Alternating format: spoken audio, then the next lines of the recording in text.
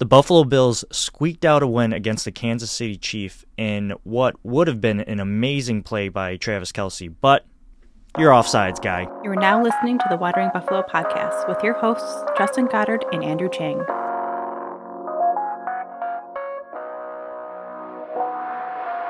Welcome into another episode of the Wandering Buffalo podcast, a show here on the Buffalo Fan Base Network. I am your host, Two Changs, and alongside me is my co host, JGods22. And you can find this podcast on all audio platforms and, of course, on YouTube and on most social media platforms as well.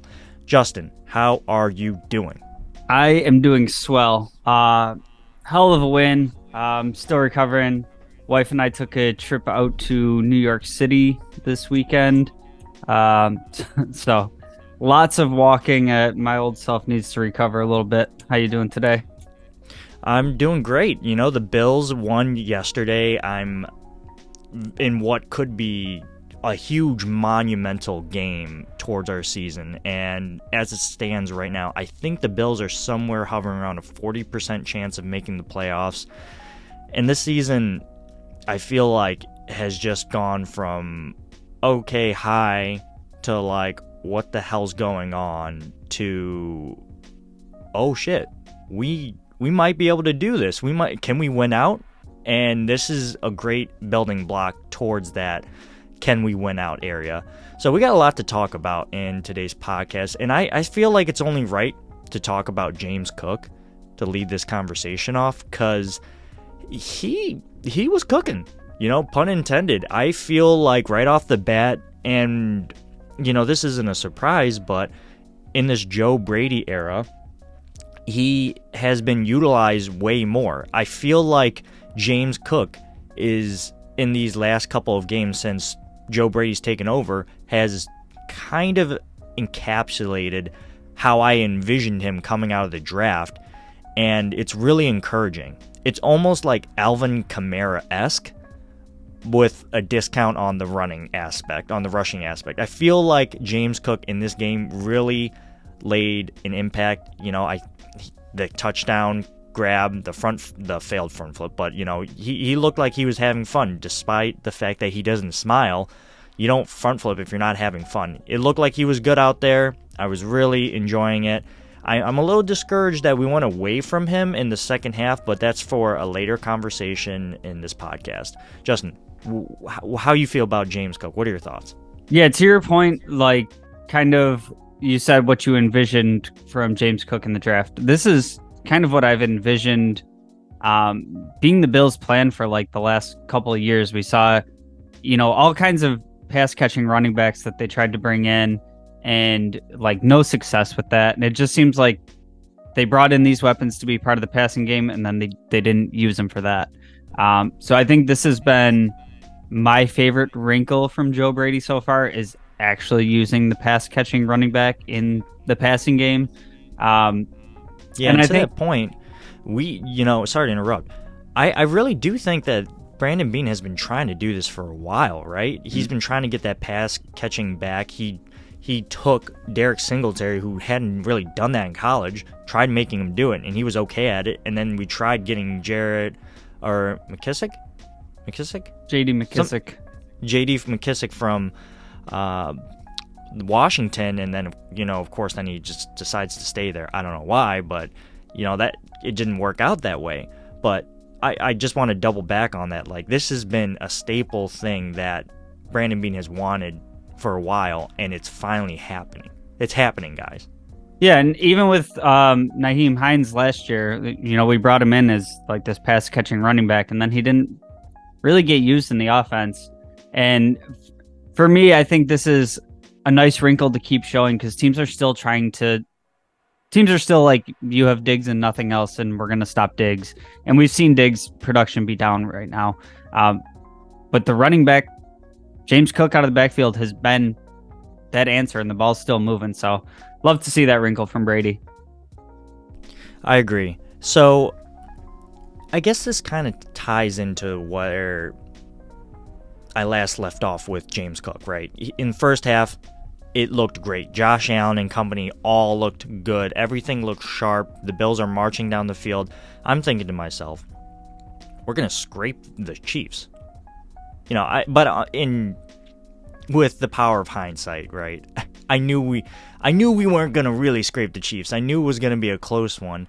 But I feel like a little bit of that first half slash second half weird production drop lull kind of happened in this game.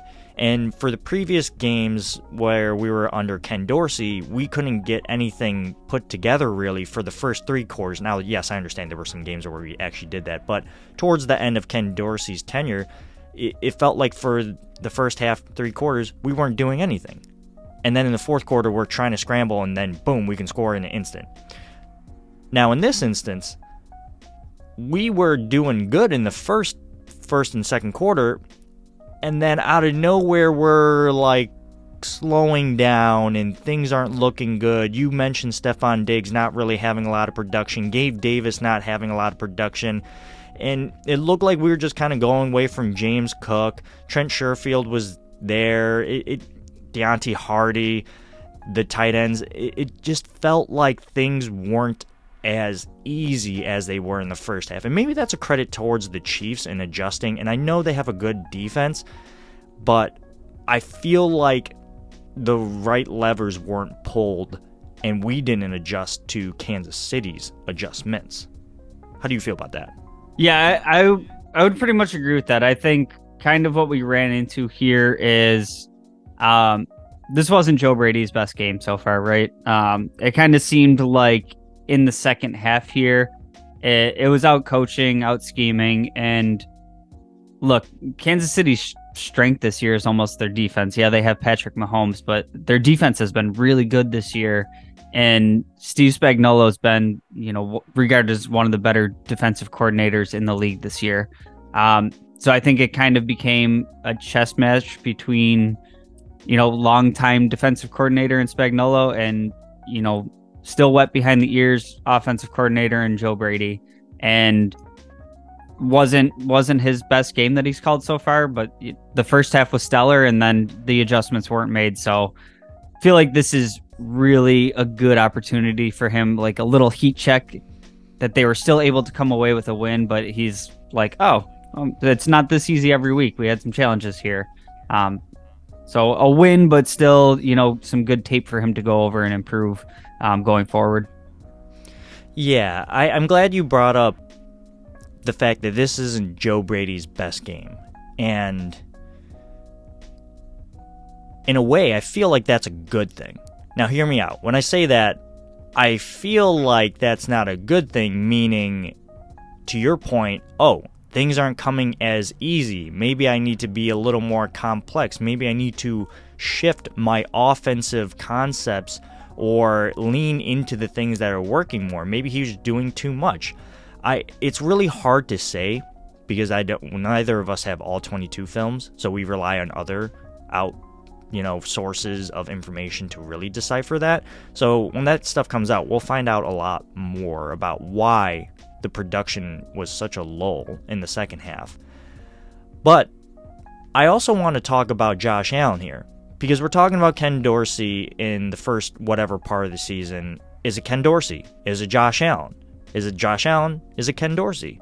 Well, now we're playing and we're seeing this first lull, and I find myself asking, well, is this Josh Allen or is this Joe Brady? This wasn't Josh's best game, but he did enough to win. He didn't make a lot of boneheaded mistakes. Now, he did make one mistake, which was that interception where he just was trying to do way too much. And I get it, he's trying to make a play, but the man the man made up for it completely. I think who I think what makes the most sense here is to really just kind of analyze the film and figure out who's at who's the problem here. And and it really just kind of deciphering is this a problem? So I'm just curious on what your analysis uh, was of Josh Allen's day yesterday, and to see what you thought, what you think is was the bigger problem, Josh Allen or Joe Brady.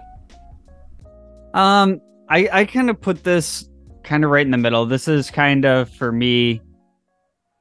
It's it's not obvious one way or another, and it's not like you know Josh had this like horrible game.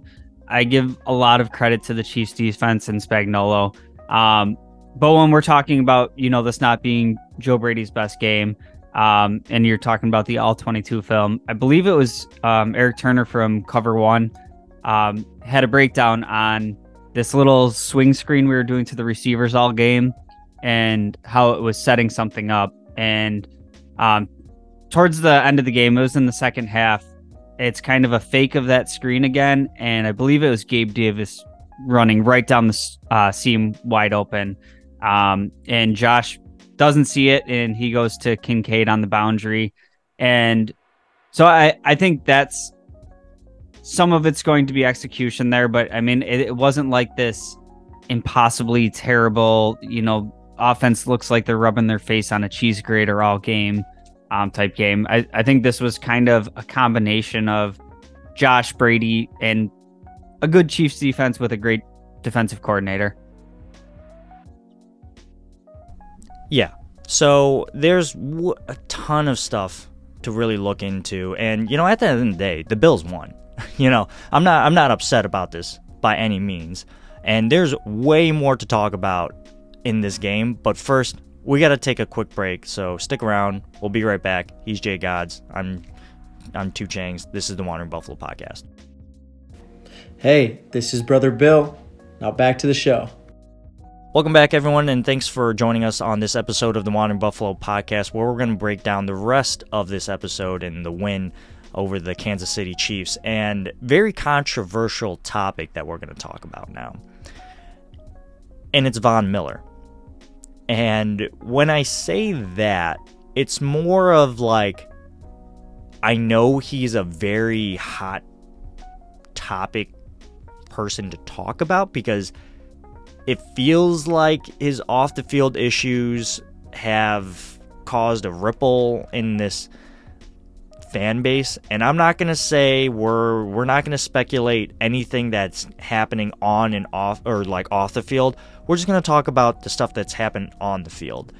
And I still feel like this is Von Miller's like time to recover and he still didn't look that great personally, I don't think he looked that great. I think he had his best game since coming back from that ACL injury, but I still feel like maybe Kingsley Jonathan would have been better.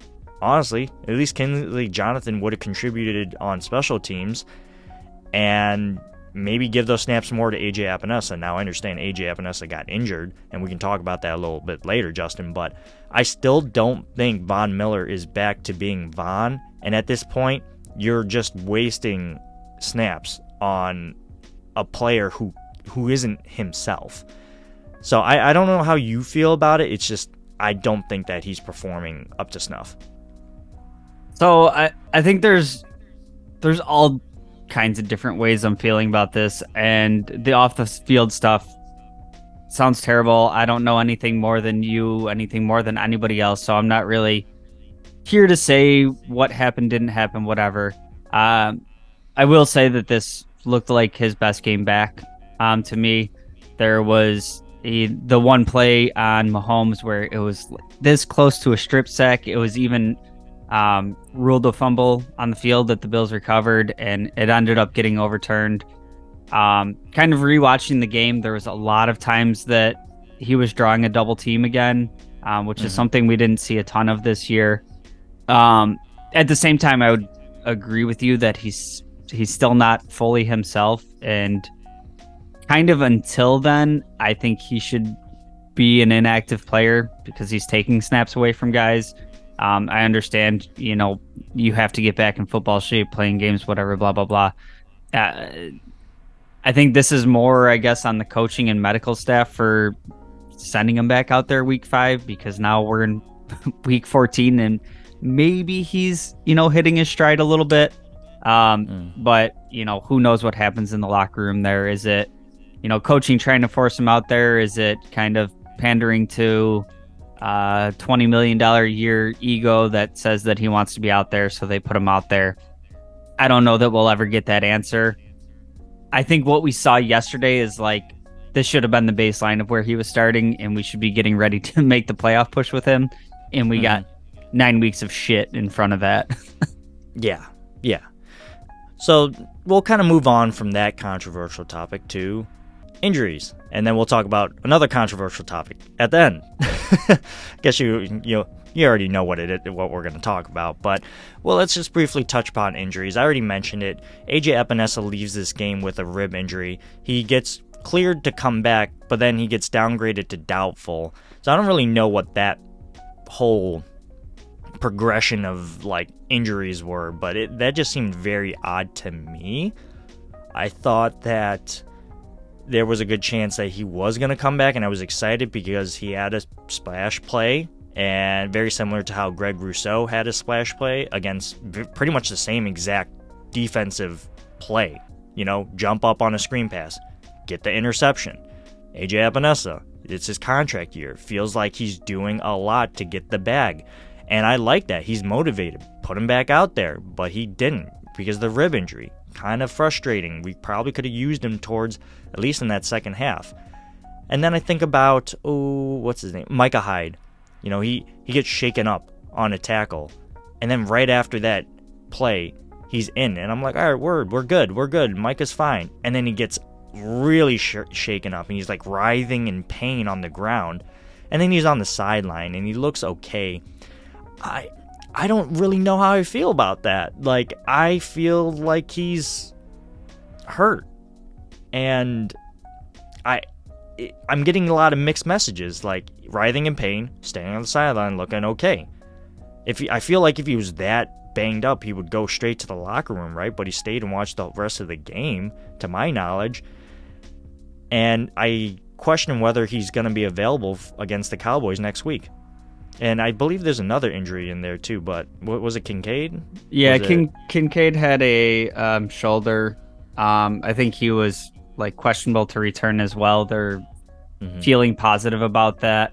Um, the Micah Hyde one is one that I really don't like. Um, is they I, I saw today that they were saying it was stingers again um, which is something that he's already dealt with. And it kind of makes sense to me that he was standing on the sidelines because it's kind of that, you know, you don't really know when it's going to happen or what's triggering it, like the nerve pain that just like shuts down your body. Um, it's always concerning to me because he's already had that neck fusion. This is the second time that we've seen the stingers. Um, I, I don't know if he's going to be available going forward. I don't. I, it makes me feel like when we look beyond the season that he's probably pretty close to hanging it up. How how long do you want to deal with, you know, concerning neck issues um, when mm-hmm. you got your whole rest of your life to live? Um, but yeah, the, those stingers are real, real tricky one, and I'm I'm not feeling great about his uh, availability for Dallas. Yeah, and if he can't go, then I mean, what do we do? What, I mean, what, what do we got? Taylor Rapp, Cam Lewis, tomorrow. Taylor Rapp hasn't looked great. Nope. In that free safety spot, you kind of lose that whole disguise coverage thing. But you know, maybe maybe you don't. Maybe he's getting better. Cam Lewis, I I'd like to have high hopes for him, but I I've just seen a lot of lowlights, and you know he does contribute a lot on the team. I, I'll give him that. It's just I it's hard to replace Micah Hyde. And even on a, and I'll, you know, hot take, I don't think Mike Hyde's having his best season. I really don't. I don't think either the safeties are having their best season. It's kind of frustrating to say that, and you know, I, I got a lot of flack for that, for saying that like out in public. But I mean, these guys are old. That's not really, and it, I'm not saying they're bad. I'm just saying they're not in their prime. You know, I'm not saying they're trash. I'm just saying they're not in their prime. Yeah, I, I would agree with that completely. I think they're I think they're getting a little bit too much flack this year because we're used to them being like these tremendous high end playmakers like Hyde's ridiculous interception against the Patriots, you know, everything Poyer was doing last year. I think we're used to them being such high impact players on the back end of the defense that like mm-hmm. they're both playing at at least an adequate levels starting safety. um, level. It's just a step down from what we're used to. Um, Mhm. And like you said, Father Time is undefeated. Um, I think it was kind of already the idea of like we got to start looking at the backup plan here. Um, for me, maybe maybe Poyer finishes out that last year. I think you probably let Hyde go, and uh, Hmm. I say that like with emotions welling up behind me because he's been such a tremendous player. But it, it's a business, man. Things happen. Yeah, you got you got to be okay with saying goodbye to some players, unfortunately, especially in this offseason.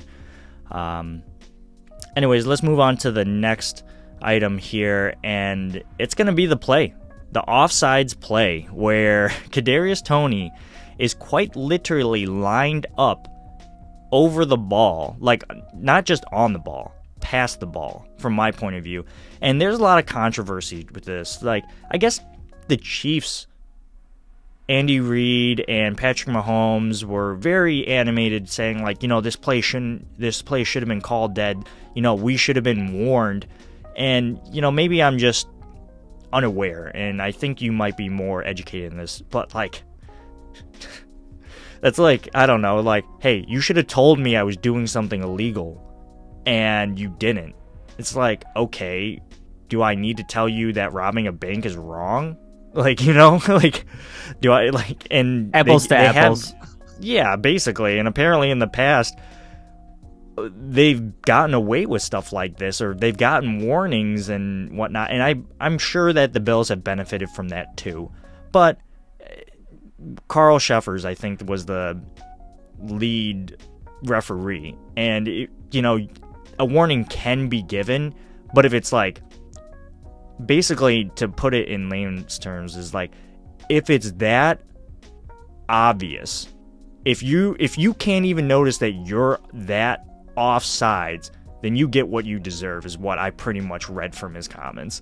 It's like dude how did you not know you were offsides like look, you're literally looking to the right at your screenshot how did you not notice that you were like ahead of creed humphrey and then there's the backlash of like, oh, Von Miller's offsides. Well, look at the look look at the play. There's a screenshot going around, but Creed Humphrey's mid snap when he's in that neutral zone. So that's perfectly legal. And then when you look at it a couple seconds before, or if you play it through on the actual sideline um, view, Von Miller's not even offsides at all at, at any point of the game. And people are referencing the blue line. I was like, well, even off that blue line, he's still not offsides, but the blue line is an estimate, guys. You got to remember it. That's not the official spot. Look at the ball. Look where the ball is. And then look at where Kadarius Toney is. I'm not going to say that that play that uh, oh my god, Travis Kelce did with Kadarius Toney wasn't great. It was a great play and I was quite upset when I watched it. However, it will never go down in the books because Kadarius Toney quite literally didn't notice that he was offsides, and there and that's there's ten other people on that side of the field. You tell me no one noticed? Come on, like that. You just that's the same thing as like us running out with twelve people against Denver. Like that's on you. That's on you. You don't get you don't get away with that. Yeah, for me, like like you said, they they you know we're talking about usually you get a warning, whatever. Like I, I don't care about any of that. Like if you usually get a warning that you broke the rules, then that just means you got away with one in the past that they were being generous for. You know, You're lucky. right? Like we're when you look at the tape, were you offsides? Yes. Okay. Flag. So I don't really care what happens after that. Now, if they threw this flag like after the whole play happened and they're like, oh, yeah, he was lined up offsides, we can have a whole different conversation. But this flag was thrown well in advance of any of that play happening. And to me, this was kind of like when you have a, a, a defensive neutral zone infraction and the quarterback or the offense is allowed to get a free play. That's essentially what, what happened here is Mhm. you know they let that play out and if we got an interception then we can decline the penalty but they let it play out um, so regardless of what happened after that i don't really care um, that being said um, so i i was driving back from New York while the game was on, and I got home with right like two plays before we uh, kicked the field goal to go up three, and What a frustrating series of offensive plays, by the way. Just To- aw- right at the end. just so like frustrating. But Three you know, plays, like 14 seconds off the clock in the two minute warning. You give it back to KC with like what two timeouts and like two two in some minutes. yeah. Like, I so was like what? So I, I finally get home. You know, this drive took us like almost seven hours, pouring rain the whole time, thick fog, can't see anything, driving in the dark. And I'm finally ready to, you know, come home, relax. I bet Wa- you would have seen that you were off sides, or at least Oh, for you know, sure. off the over the road. Oh. there's a line. We also drove past another car engulfed in flames, just wild stuff going on. I'm hmm. ready to come home and relax. And like, I get home and there's whatever, like two minutes left. We're up three, and Patrick Mahomes is getting the ball with two timeouts. And I was like, well, Fuck. The, great. Made it home to watch another absolutely heartbreaking disaster loss. And I will say this for, you know, as happy as we can be today that we came out with that win, uh, just think of how opposite everything would be if, you know, granted, if that play had stood and, you know, whatever, we still had Josh Allen could come back on the field with like a Yeah. minute, minute 10 left, two timeouts. Like, it's not like the game was over, over. But imagine sitting here today, had the go ahead touchdown been the game winning touchdown, and it was a cross the field lateral. Just, oh my God. The, for the disastrous, epic, blunderous losses that we've had, if we had to add that to the catalog, I don't, I'm, I don't know if I'd be sitting here sick. today, man. I, I wouldn't be, I don't know. I don't know if I'd Yeah, be here yeah, today. I think you would have been. I think you would have been. I need a break. Yeah, I would I would have been quite upset about that. One last topic I want to talk about before we head out here is that you know the Sean McDermott comments very distasteful back in 2019 and he's apologized for those comments. Everyone in Sean McDermott definitely on the hot seat when it comes to the fan base at least. I don't think he's going anywhere, guys. The contract is not easy for Terry Pegula to say, you know what, I'm willing to chop this off right now. Then you look at that post game, right? And you just see Brandon Beane and the other players basically say, We got your back, we got your back. Terry Pegula is literally in the background smiling and clapping. This team is behind Sean McDermott. So whether you like it or not, Sean's probably not going anywhere for this season, next season, and if it's really, I mean, like something really, really has to like implode next season for him to get the boot mid-season. I think that he definitely has earned, and he's done enough to get another season as the Buffalo Bills head coach.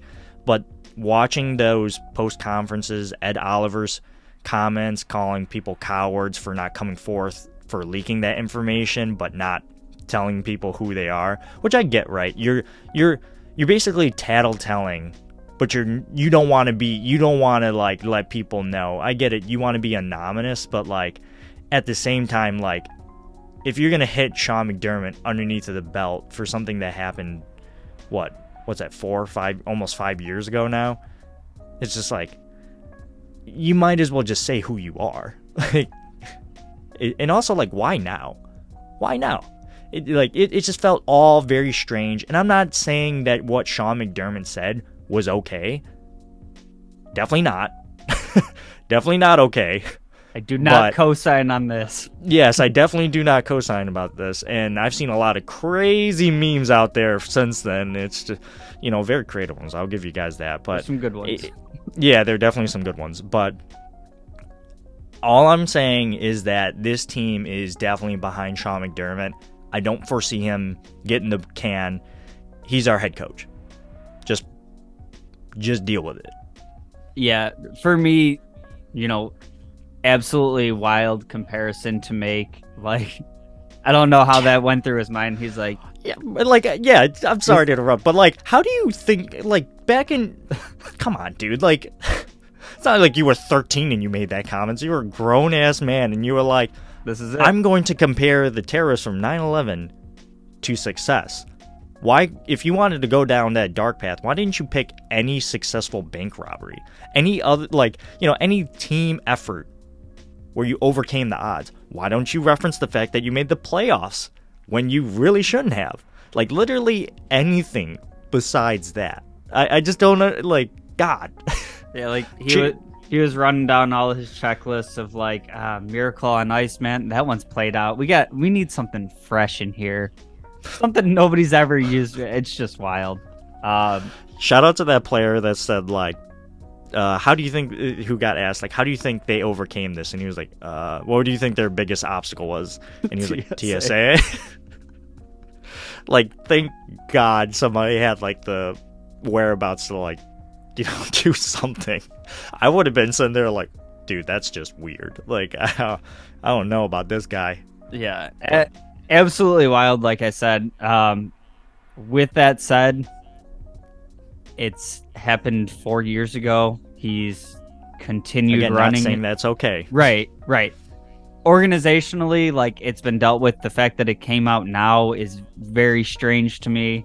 Um, Nobody seemed to want to talk about this when we were winning 13 games, right? So you, it comes out at the bye week of like the first year he struggled as a head coach. Like it's just wild to me. The timing is very strange. It feels very. Hit piece.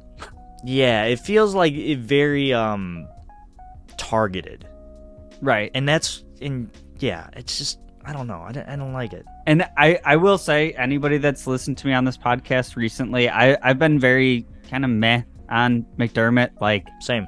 I think he's, I think he is a very good coach. I think that that can be true, um, while needing a change of scenery. I, I think we see it with players all the time that they just they go to a different team and they blossom. And I, I think that he was the coach that we needed to turn around this franchise to, you know, build that culture, build everything up the way he did. But that doesn't necessarily also mean that he's going to be the guy that takes you to the promised land. And I think that I think that's fine for both the Bills Yeah. and McDermott. I'm fine if he comes back. I'm fine if they choose to move on.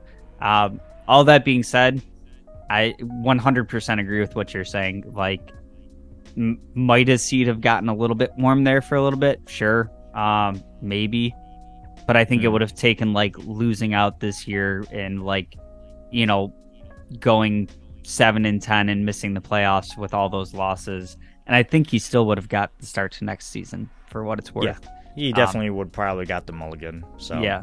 So yeah, he'll be here. Yeah. And I do want to apologize to anyone that you know. I I guess felt the effects of those comments because they are very serious, you know, and I know a lot of people, and I, you know, we mentioned some people are making, you know, light of it. That that is a very serious thing to talk about, and the fact that he used that as, I guess, prep talk, not cool. Very not cool. So, I don't know. Well, let's just try to put this behind us. We got the Cowboys coming up, and Justin and I will be here for all of that when the Bills hopefully defeat the uh, Cowboys next Sunday. I think we play at 4 o'clock, something like that. So we'll have to uh, check in with you guys until then. But that's a wrap for today's episode. So thanks for listening. If you could kindly like, uh, kindly like, subscribe, rate, review, all that good stuff. Check out our website, thewanderinbuffalo.com. Uh, Justin can be found on social media. Same thing with me. And this podcast. We're on YouTube, audio platforms. Justin, any words of goodbye or farewell? I don't know. Hey man, uh, we got a chance. Uh, season looked real, real grim. Uh, going back three, four weeks ago, and um, a lot's changed. Um, it's still a long ways to go, but it ain't over till it's over. Definitely not. So until then, stick around, keep listening to us. We'll break it all down as the season unfolds. I'm excited to talk about it. And as always, go Bills. Go Bills.